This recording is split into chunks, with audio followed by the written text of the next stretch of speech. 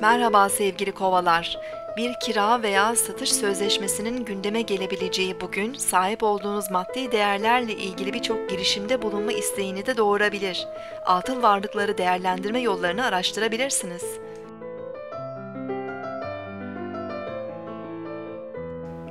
Bugün 23 Mayıs 2014 Cuma, Venüs günündeyiz. Balık burcunda ilerleyen ay, hayal gücü ve sezgilerimizi güçlendireceği için yaratıcılığımız öne çıkabilir. Sabah saatlerinde ay Merkürle kare açı yapacak ve 9.26'da boşluğa girecek. Zihinsel olarak herhangi bir konuya konsantre olmakta zorlanabiliriz ve kararsızlık hissedebiliriz. İletişim konularında bazı sorunlar, gecikmeler ve yanlış anlaşılmalar söz konusu olabilir.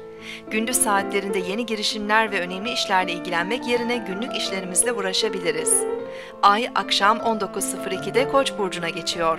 Dışa dönük, canlı, sabırsız enerjiler hareketlendirebilir.